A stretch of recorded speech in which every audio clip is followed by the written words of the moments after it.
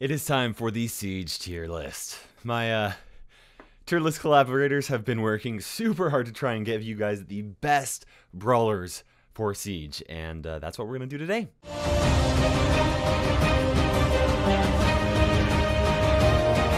Hello, fellow brawlers. I'm Kairos Time, and it is time to talk about the best brawlers for Siege. Now, this is going to be version one of the Siege tier list. However, I've got over 20 top players working very hard to try and find the best brawlers across the meta since the balance changes. So you guys can be looking forward to version 10 of the tier list coming here sometime next week. To start it off, let's go ahead and cover the F tier brawlers. Now, these brawlers are the brawlers that you do not want to play in Siege. Okay, first of all, we got Poco.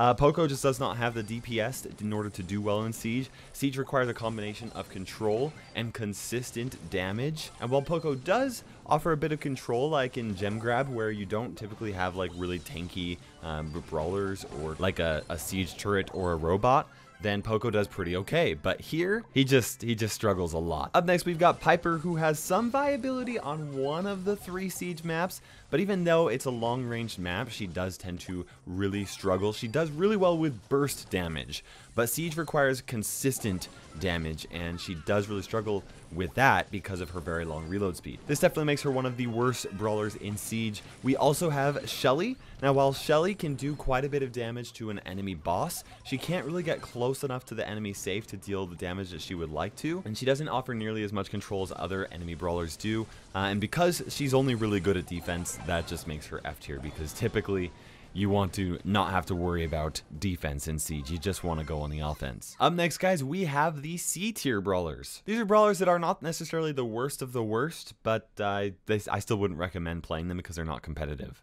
First up is Crow. Now, Crow is the type of brawler that does really well in the long-term fight, but not really so much the short-term fight. He deals almost no damage, and he's so squishy that it makes it really difficult for him to not only pick up bolts without getting taken out, but also to keep them without getting taken out, and that definitely makes him a C tier brawler. We also have Gene, and while I will admit that it is very fun to play Gene and use your super to try and pull people into your side of the field so that the turret will actually take them out, or to pull the enemy robot boss away from the safe, uh, that's also a really fun thing to do. Uh, but that uh, that just does not happen very often when you're playing Gene, and he really just is not good without his super, so definitely deserving of the C tier. Also in the C tier, we have Mortis. Mortis is just not very good for this game mode, okay? Out of Siege, there are a lot of different things that makes a brawler good at Siege, and Mortis is good at one of them.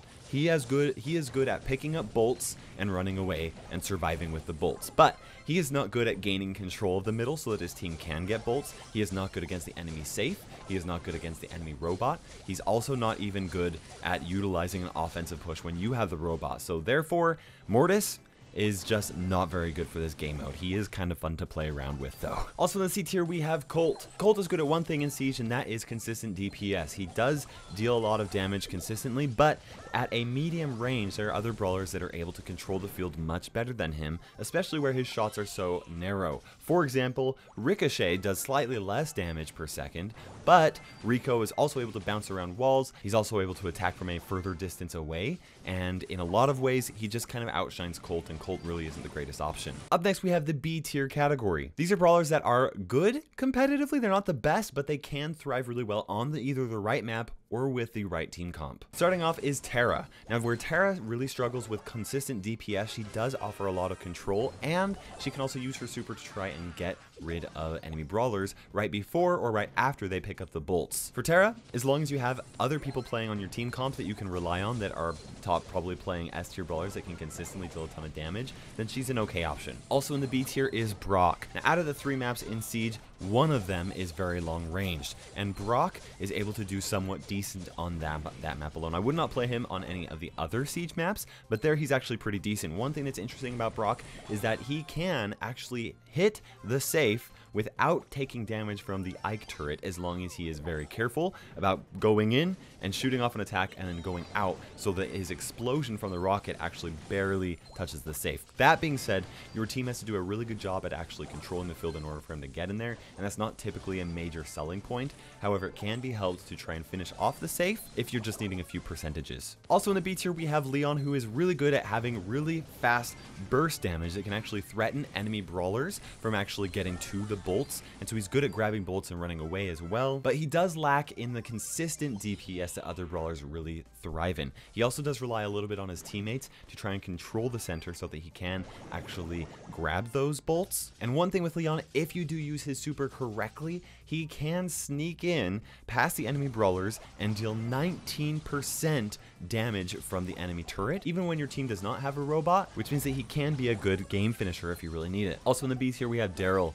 Darryl is uh, in this game mode, tanks do tend to do pretty well, but Darryl's not really a tank unless you have his star power. But even if you do have his star power, he's not as tanky as the other brawlers, and he definitely does not have as much damage as uh, the other brawlers do as well. That being said, he can use his passive super in order to rush the safe, which can help him finish it off and end the game mode for you. Up next, we have the A tier brawlers, which are great for Siege. Starting off with Bo. With Bo's recent attack buff, that means he is able to deal a lot more damage than he used to be able to, and on top of that, his mine does a great job at actually catching enemy players off guard, protecting them from getting to the bolts, taking them out once they have taken the bolts. It can also be used to stun the enemy boss, which is an excellent tactic once the boss is on your side of the field, because then your Ike turret will actually be able to shoot it down really quickly. Bo definitely thrives a lot more on the maps that are a little bit more opened up. Also in the A tier, we have One thing that's really great about Dynamike is his ability to kind of like uh, pre, he, he's going to know where enemy players are going to be going to because of the bolts, and so it's really easy for him to attack and deal damage to them,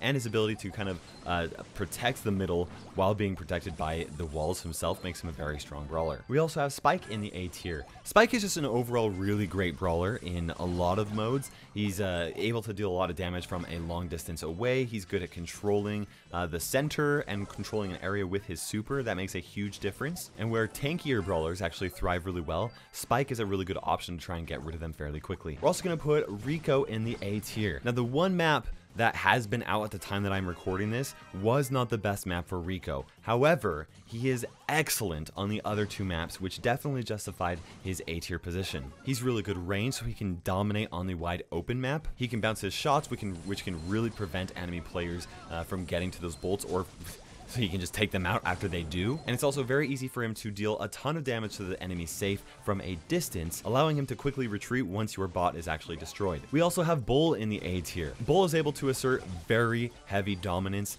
in the middle of the field once he's able to actually establish a little bit of control. It's very difficult for a lot of these brawlers that typically thrive well on Siege to actually take him out quickly.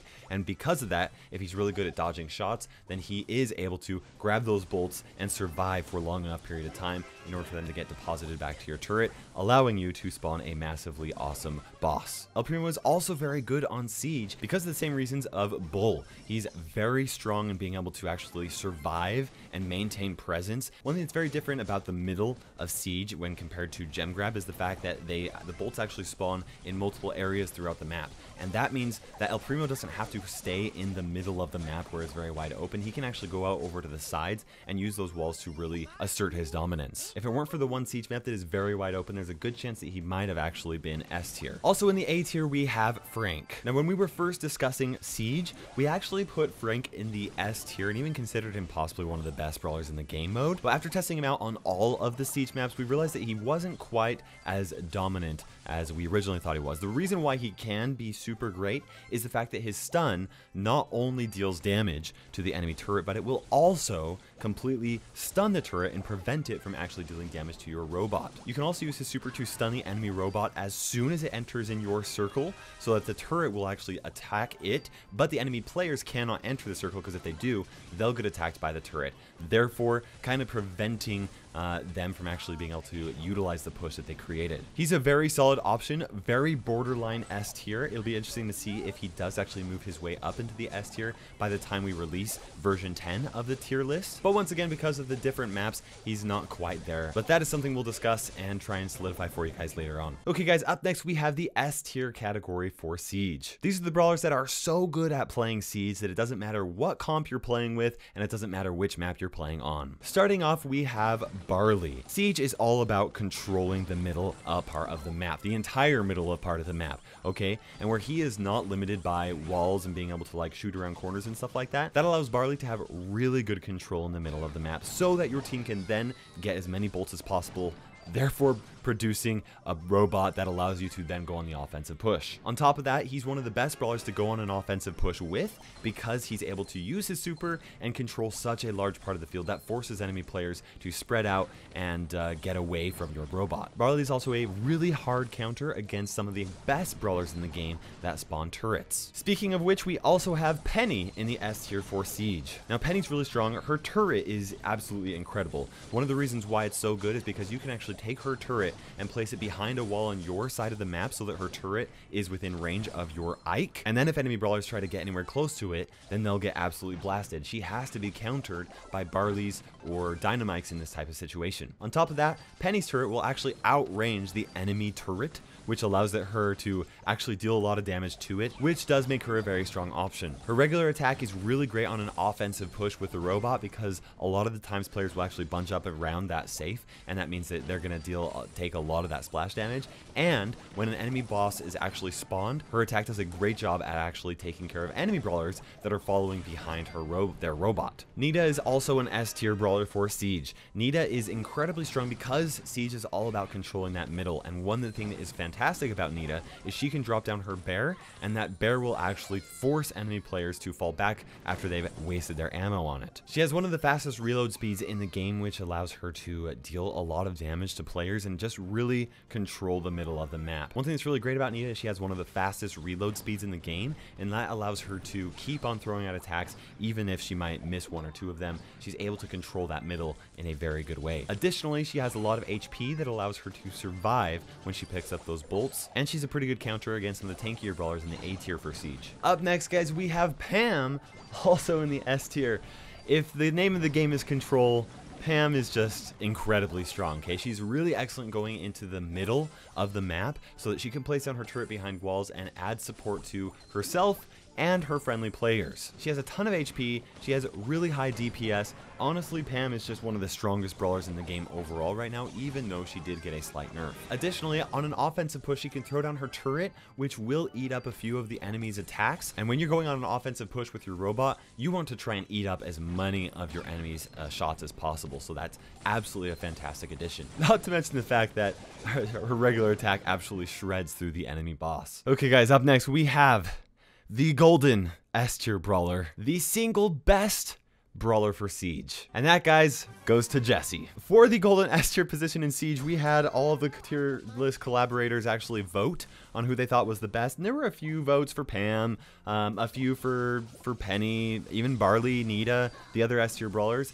But it was an incredibly overwhelming majority that actually voted for Jessie. She is so strong in Siege, and there's so many different reasons why. Her turret offers amazing control in the middle of the map. For Siege, a lot of the brawlers actually somewhat close together, so she deals a ton of splash damage because of her attack actually bouncing from brawler to brawler. On an offensive push, she just absolutely destroys, she shreds through enemy teams because she, she actually has a higher damage per second than Pam in the game if all three of her attacks actually hit. But I haven't really considered that too much for her in other game modes because it doesn't happen so frequently. But in Siege, she'll attack one brawler and they're all like bunched up. It's just like this wide open area. So everybody has to be dodging Jessie's shots and she can attack an enemy brawler. She can attack an enemy um, turret from like a Jessie or a Penny. She can attack the enemy safe slash turret slash Ike or whatever you call it. She's just absolutely nuts on offense. She can deal so much damage. On top of that, if you do have her star power, throwing out your her turret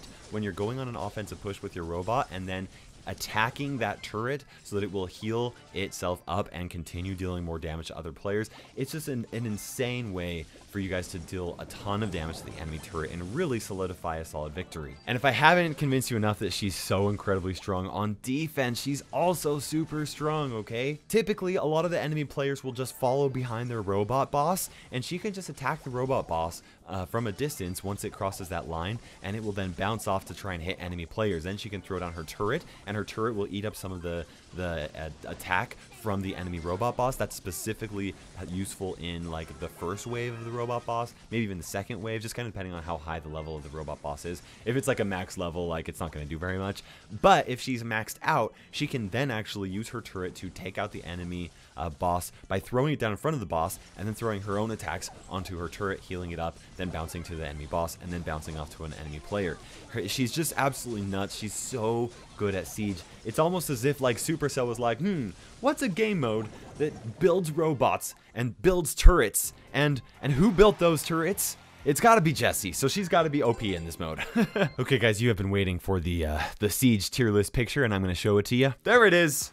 That's right, that is the competitive Siege tier list, and I'm really excited to give you guys the complete tier list after we've had a few more days to really uh, hash out a lot of balance changes and figure out which brawlers truly are the best in each of the game modes. Now, before we end today's video, I wanted to give a huge thank you to all of the collaborators here that helped with making this tier list so incredibly fast. I kind of put the hardball pressure on them. I was like, hey guys, we got to figure this out in like one day of the game mode so that we can try and have out a tier list as soon as possible for Siege. And they were absolutely fantastic and really gave incredible insight. You cannot get a tier list better than this because we literally have some of the best players in Brawl Stars helping to make this tier list for you guys. Anyways, guys, hope you enjoyed it. For now, this is Kairos Time ticking by, and we will see you in Brawl Stars.